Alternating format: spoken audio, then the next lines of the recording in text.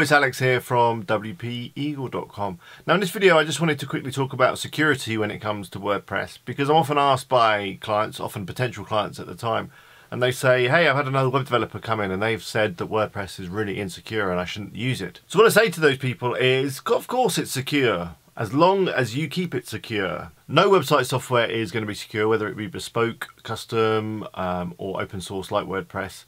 Basically because there's hackers out there and if they want to get into your website, they will. Now the thing with WordPress is that it's really popular. In fact, it powers, you know, over 20% of the internet. And now this in turn makes it a target to hackers and bot people and all those horrible other people out there trying to get in.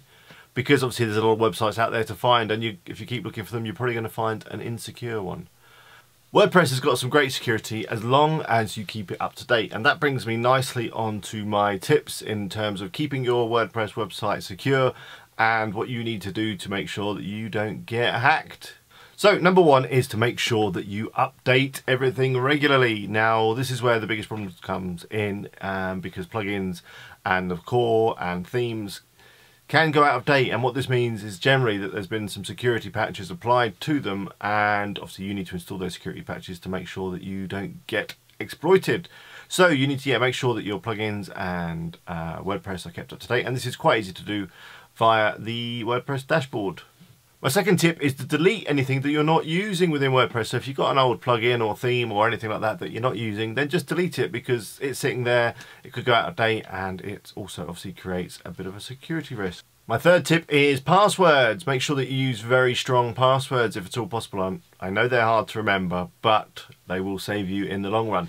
If you can't think of a secure password, just do a Google for strong password generator or something like that, and there'll be a tool that will come up with something really strong that no one will ever be able to hack in a million years.